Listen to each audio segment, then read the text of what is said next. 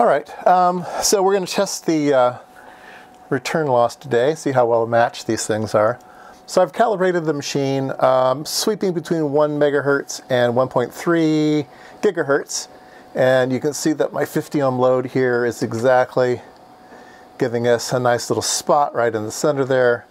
Um, and uh, let's see here, let's go to uh, log mag and you can see that we're calibrated really, really nice.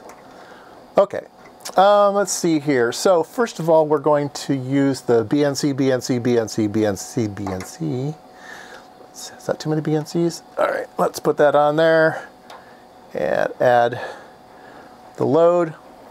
So we're about at 800 megahertz, we're about minus 20 dB of return loss. Not too bad. Uh, we can go to uh, SWR if you want, measuring about uh, 1.2 uh, SWR at 800 megahertz, and it's doing pretty good up to 1.3 gigahertz. It's one SWR 1.4 out there. So let's go to our test subject, which is our RCA RCA connection. Let's put that on and uh, put a load on him. And there you go, it's worse. Um, we're up at about 1.6 SWR at 800 megahertz. Still, still acceptable. And uh, we are at uh, about 1.9, 1.8, 1.8 all the way up there, something like that. We can just show that on a uh, uh log mag. Yeah, it's around minus 10, not great. And then uh, we can do a uh, Smith chart, why not? Yeah, there we go.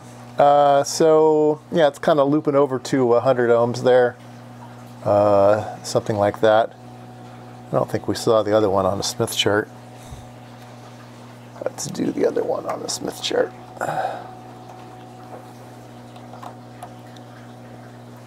And it kind of loops over the other way. Yeah, Anyway, uh, again, at 800 megahertz, not too terribly bad.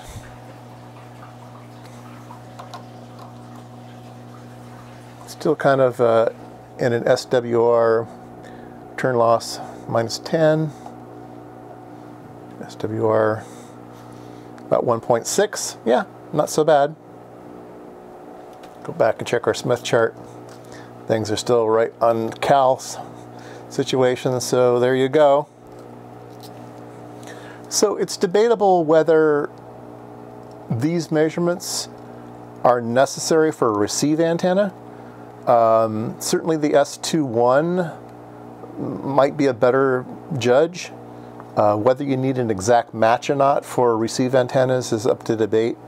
Uh, but yeah, there you go.